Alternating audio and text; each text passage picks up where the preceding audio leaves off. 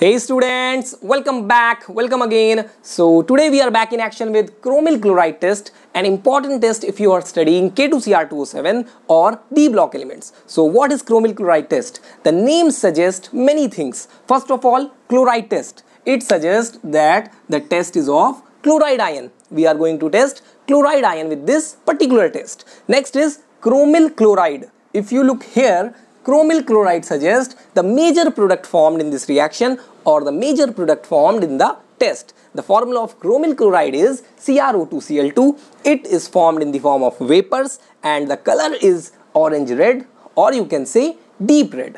Now let us get to the recipe of this test and what will be the ingredients and how will we conclude this. Now if you have a suspected chloride or any compound where you have suspicion of chloride ion. What will you do? You will mix H2SO4 and K2Cr2O7 in it and started heating the mixture.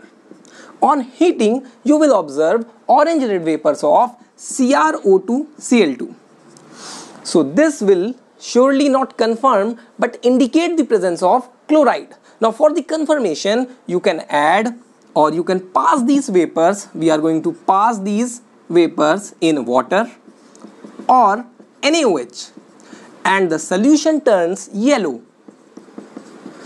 As the solution turns yellow, the presence of chloride ion is confirmed. It is a very simple test. H2SO4, K2Cr2O7 and the chloride suspected compound. Heating gives orange red vapors of chromyl chloride. Along with water or NaOH, it gives yellow solution. Now, if you look here, this is the standard reaction of it. And the reaction now when you see the reaction it it contains a lot of salt a lot of products and a lot of things to remember. That is a particularly what i can say that is something horrible as far as chemistry is concerned. So let let me make this a bit simple for you to understand and remember. So now if you consider this reaction i'm going to explain this how these extra extra, extra things are formed. So look here. Now we have k2cr2o7 i will write this here.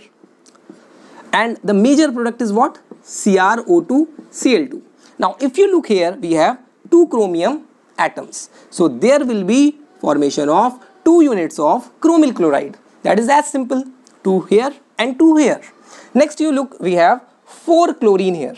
How many? Four chloride chloride units are here. Therefore i conclude that we should take four units of NaCl or any metallic chloride that we have that we are using if it is univalent.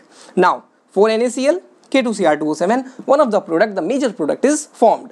Now from where the hell comes this, this and this? It is all creation of what? H2SO4. Now comes H2SO4. What is H2SO4? Sir, H2SO4 is an acid as far as class 10th NCERT told us. An acid gives H plus ion when dissolved in water or it has the natural tendency to give H plus ion. So H2SO4 will give H plus ion and HSO4 minus ion. Now if you look here in this recipe we have a lot of positive charge K plus, Na plus, Na plus, Na plus and H2SO4 is going to provide one HSO4 minus ion. So if you want to neutralize all these six positive charge ions we need 6 H2SO4 that will give us 6H plus and 6HSO4 minus. Next step is very simple. It is just the addition of plus to the minus. Now K plus will go to what? HSO4 minus forming 2 units of KHSO4. Now these 4 Na plus will go to again the HSO4 minus and forming 4 units of NaHSO4. Last but not the least, we have 6H plus left and if you look here, we have 3 oxygen left, 6H plus, 3 oxygen, that is as simple 3 units of H2O. Now you can, maybe you can memorize this if you approach this in this particular fashion. First of all, write down K2Cr2O7, then NaCl that will give you an idea of chromyl chloride and NaCl the rest is done by H2SO4 forming these salts and water molecule.